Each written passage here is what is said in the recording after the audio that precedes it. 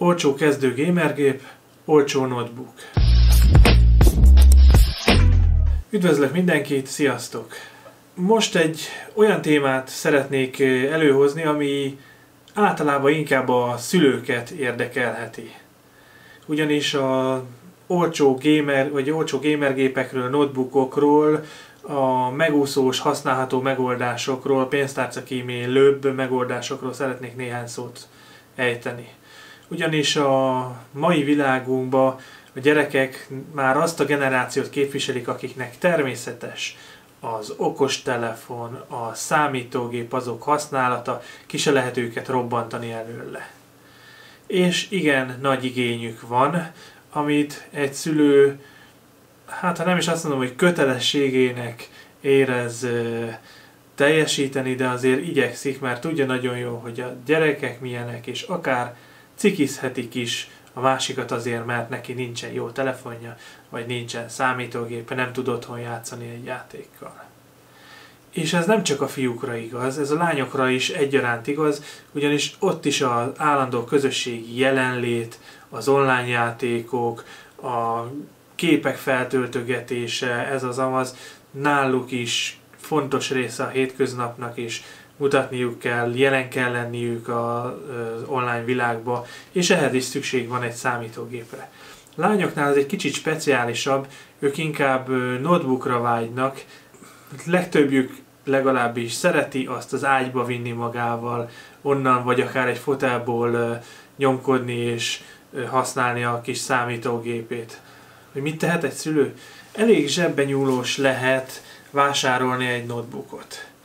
Ha azt nézzük, mondjuk 60-70 ezerért lehet venni egy notebookot, de ahhoz még szükség van egy Windowshoz is, hogy mondjuk lehessen használni, fussanak rajta programok, tudjon böngészni. Ez plusz kiadás mondjuk egy olyan 30 ezer forint. Tehát már ott tartunk, hogy 100 ezer. Esetlegesen lehet venni már 60-70 ezerért olyan notebookot, ami mondjuk úgy, hogy Windows-t is tartalmaz, és még használható valamire, de ez tényleg az a kategória, amit senkinek nem ajánlok. Csábítóan hangzik, nagy akciónak hirdetik a legtöbbször, de olyan béna processzorral van, kevés memóriával van, tényleg rosszul összerakott gépekről van szó, hogy nem érdemes megvenni. Tehát ha egy olyan notebookot szeretnénk újonnan vásárolni a gyermekünknek, amit még egy-két évig használni is tud, tehát nem fogja azt mondani egy fél év múlva, hogy egy nagy kalap túró, akkor 120 ezer alatt nem nagyon fogjuk megúszni. De mit tegyen egy szülő, akinek nincs 120 ezer forintja, talán a felét kigazdálkodná, de 120-at nem, vagy nem akar egyszerűen 120 ezer forintot kiadni azért, hogy a gyereke tudja nyomkodni azt a számítógépet, és állandóan az internet előtt legyen. Legtöbb szülő azt kérdezné, hogy mennyit enged a feléből, ugyanis nem akarja kiszórni azt a pénzt az ablakon. És van erre egy megoldás, hogy ne is kelljen kiszórnia. Ugyanis vannak olyan cégek, évek óta működő cégek, akik használt számítógépekkel, notebookokkal foglalkoznak. Ugyanis tőlük nyugatabbra a nagyvállalatok, bankok leasingelik az informatikai eszközeiket, és egy-két-három év után, amikor lejár a leasing, azokat visszaadják, és egy jobb konstrukciót, vagy egy jobb készüléket leasingelnek újabb néhány évre. Az élelmes magyar cégek ezeket felvásárolják potom áron, behozzák kis hazánkba, rendbe teszik, letesztelik, és utána mondhatjuk úgy, hogy áron alul eladják, értékesítik. Ezeket a számítógépeket viszonylag jó áron és egy év garanciával szokták értékesíteni. Ez az egy év garancia az általában azonnali csere garanciát jelent, tehát nem szervizelést vagy ilyesmit, hanem egyből ki fogják cserélni egy azzal legyen értékű számítógépre, amint észlelhető az a hiba.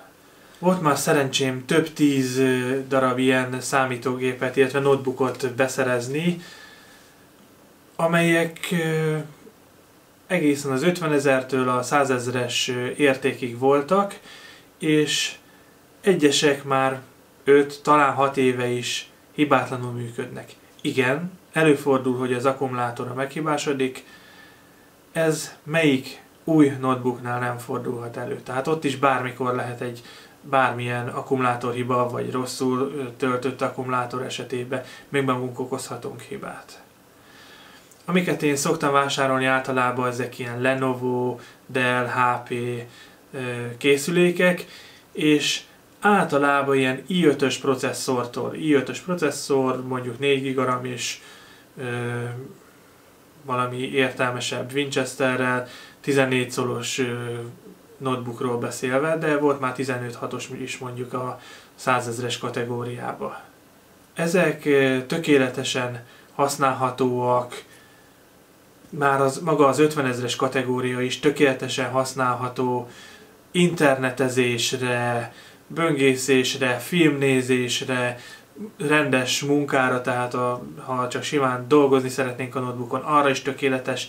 Esetlegesen már a kisebb játékok is normálisan elfutnak rajtuk, probléma nélkül.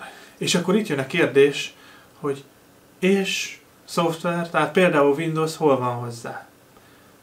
Igen, egy új Windows 30 ezer forint lenne.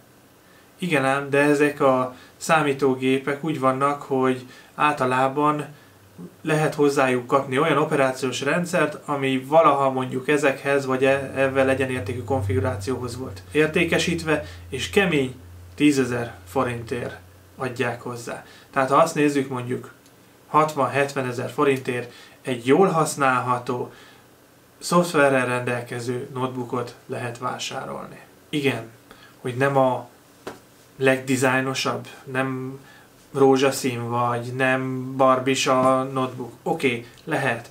Nem a legújabb típusú notebookokról van szó, bár azért itt üzleti készülékekről van nagy részt szó, tehát nem gagyi anyagból készültek, hanem tényleg minőségiek, de a tudása az magasan kárpótolja a felhasználót azért, hogy nem a legszebbet vásárolta, bár ha szerencsések vagyunk, akkor egy kicsivel magasabb összegér, akár jobban kinéző, tényleg csajos notebookokat is lehet vásárolni.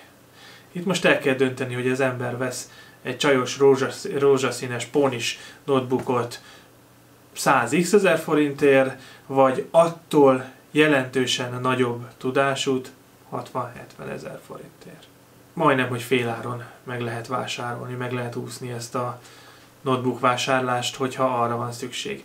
De nem is húznám az időt, mert mi van a gamer gépekkel? A fiúkat nem a notebookok fogták, ö, szokták lekötni, hanem inkább az asztali gép nagy monitorral, mert hát azon lehet jól lejátszani, lövődözni a haverokkal, vagy mászkálni ö, nyílt terű stratégiákba, vagy ö, FPS játékokba, vagy RPG-kkel, vagy bármivel, tehát az a lényeg, hogy nagy monitor, nagy tudás és viszonylag erős grafikai teljesítmény. Számoljunk azzal, hogy mi van, ha tényleg használható gamer gépet szeretnénk venni, amihez ugye mondjuk Windows is kell, de csak egy kezdőszintűről van szó nem a legerősebb, nem Chilli-Villi, nem valami nagy márkának a gépe, mert ott akár milliókról is beszélhetünk, mondjuk egy ilyen belépő szintű, de már használható gamer gépről kellene most egy pár szót váltanunk, de mielőtt ezt kivesézném, gyorsan hozzáteszem, hogy szoktam látni olyan hirdetéseket, amiben úgy hirdetik, hogy kezdő szintű gamer gép, hiperolcsón, ezt vegye meg, stb. És akkor látom, hogy ez a gamer gép van mondjuk 100-110 ezer forint, plusz hozzá a Windows mondjuk 30 ezer forint, és hú, milyen tökéletes, és vegye meg, és meggyőzik a felhasználókat. Majd hazamegy a szegény szülő, oda teszi a gyereknek, és a gyerek elkezd nyávogni, hogy de ezen nem megy a játék, és joggal nyávog.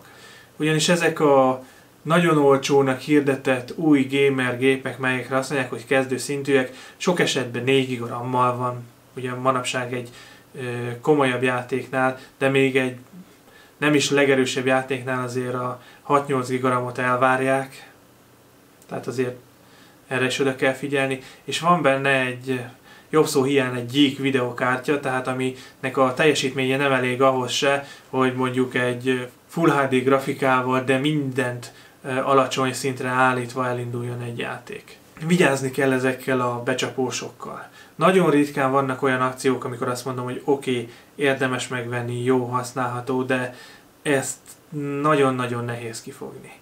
Manapság, ha össze akarunk rakatni egy gamergépet, vagy akarunk vásárolni különböző számítástechnikai üzletekben egy használható, belépőszintű, de használható gamergépet, akkor minimum egy i3-as processzor kell bele, egy 8. generációs processzor, vagy legyen mondjuk egy i5-ös processzor 4. generációstól. Jó, már a második generációs processzorokkal is a mai játékokból szinte mindegyik elmegy. Tehát még azért se előnek, tehát ott is lehet találni jókat. Ö, azt tudni kell hozzá, hogy minimum 8 gigaram kell, tehát az alatt nem is érdemes foglalkozni gamer géppel. És ha a videokártyáról beszélünk, hát mondjuk egy belépő szintű, használható videokártya, ami tényleg nem egy erőmű, csak egy belépő szintű, de már el fog menni a mai játékokkal, mondjuk egy GT 1030-as, bár az már annyira nem inkább egy mondjuk egy GTX 1050-es videokártya, vagy az AMD-nek az RX 480-asa, ez az a mondjuk azt, hogy minimum, ahonnan kezdődnie kellene. Igen, el lehet menni több százezeres videokártyákig a 1080-as, 2080-as, vagy akármilyen videokártyákig, de egy belépő szinten fölösleges csak egy videokártyáért több százezer forintot adni. Azért mondtam, hogy mondjuk ezzel úgy elketyeg. És kell hozzá minimum egy Windows 7, vagy egy Windows 10-es operációs rendszer, mert hogy azért valamin futtatni is kell. Igen, ilyenkor sokan azt mondják, hogy hát azért miért fizessen, mert majd szól a szomszédnak, aki felteszi a tört, és stb. Windows-t, és igen, egy dologról sokan elfeledkeznek. Jó, meg lehet ezt is csinálni, bár nem legális, büntethető, illetve büntetendő, de a telepített játékok többsége az olyan játék, hogy rendszeresen frissít, és drivereket is, és Windows drivereket is frissít ahhoz, hogy rendesen működjön. És elég gyakran kiüti majd azt a tört Windows-t, és azt fogja látni, hogy kiírja a Windows, hogy ö, nincs aktiválva, vagy ö, nem teljes verziós windows van, aktiválja, frissítse, stb. Tehát ö, olyankor jön a probléma, amikor maga a játék azért, hogy működjön, azért ki fogja ütni azt a tört Windows. Tehát most beszéljünk egy eredeti Windowsról, ami mondjuk egy plusz 30 ezer. Tehát ö, ilyenkor mondjuk minimum 150-180 ezernél tartunk, csak a számítógép Windows-zal. Ehhez illik legalább egy 22 szolos monitort venni, ami legyen mondjuk egy olyan 1-2 millisekundumos válaszidő. Jó, az 5 millisekundumossal is lehet játszani, de mondjuk egy lövöldözős játéknál minél jobban, minél gyorsabb, annál jobb. Ezeket mondjuk a tényleg legalapabbat, ilyen 28-30 ezerért már használhatót lehet venni, és ez nem egy nagy ágyú, az tényleg csak egy ilyen alap. És akkor ehhez szükségesek az apróságok, billentyűzet, egér, mikrofonos fülhallgató. Fontos az egérnél gamer egér legyen, ugye, hogy elég gyors legyen, vagy állítható sebességű legyen, legyenek rajta plusz gombok. És akkor itt a minimum ezekért az apróságokért 10 ezer forint, de hát itt is egészen a csillagos égig mehet.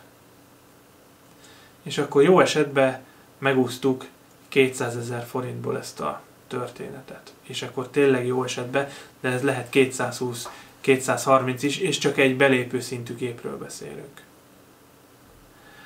Ugyanitt nem tudok csodát ígérni, hogy féláron lesz, mint mondjuk a notebookoknál, de a már korábban említett használt gépeket garanciával árusító boltokban található olyan szintű asztali számítógép is, bár ők elsősorban munkaállomásokat értékesítenek, de értékesítenek emellett olyan szintű, már munkállomásnál jóval több ilyen belépő gamer gépeket, amik megfelelnek ezeknek a igényeknek. És itt Windows-zal a már felsorolt konfigurációval már akár 100-130 ezer forintért is lehet venni őket.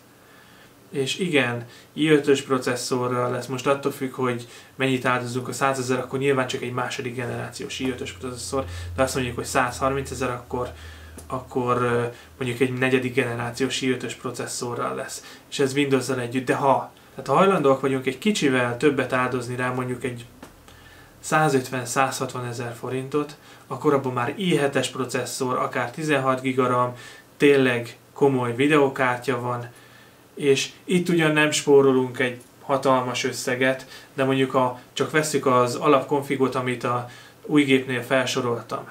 Egy olyan szintű ö, gépet veszünk használatba, akkor mondjuk egy 50 ezer forintot kapásból megspórolhatunk. Monitor esetében itt el kell gondolkozni, hogy akarunk-e spórolni, mert 5 maximum, de tényleg maximum 10 ezer forintot lehet megfogni, ha szerencsések vagyunk egy jó monitor választásával, és még az se biztos, hogy jól járunk vele, tehát itt lehet, hogy már érdemesebb inkább az újat megvásárolni. Billentyűzet, a gameregér, a mikrofonos fülhallgató terén viszont nem érdemes használatot venni, ott csak és kizárólag újat, lehet, újat érdemes venni. Ezeknél is van már tapasztalatom, tehát ezeknél a munkállomásoknál is már több tíz gépet volt szerencsém vásárolni, amelyek a mai napig is tényleg évek óta probléma nélkül működnek. Itt még olyan probléma sem volt, mint a notebookoknál, hogy esetleg az akkumulátorral volt valami. Tehát ezek tényleg jól működő számítógépek, sőt saját részre vettem ilyen gamer jellegű asztali gépet, nekem ez igazából munkához kell, igaz, játszok is vele, videót vágok, minden is tökéletesen működik évek óta, nincs vele problémám, Full HD-be nyomom a játékokat, jó, nincs felhúzva a textúra a legjobbra, de attól függetlenül élvezhető a játék. Tehát én meg vagyok vele elégedve. Tökéletes játékélményt biztosít és hozzáteszem, hogy nekem még csak a sima GT 1030-es videokártya van benne, és avval is tökéletesen működik. Ilyen Fortnite, Rainbow Six Siege, Assassin's Creed, Destiny, tehát hogy mondjak néhány ilyen játékot, amikkel gyakrabban játszottam, és simán elmentek rajta. Assassin's Creed-nél is ugye ez az Origin, ott is azért elég nagy területekről van szó, nagy grafikáról, csak hogy hasonlításkép, összehasonlításképpen mégis ö, legyen.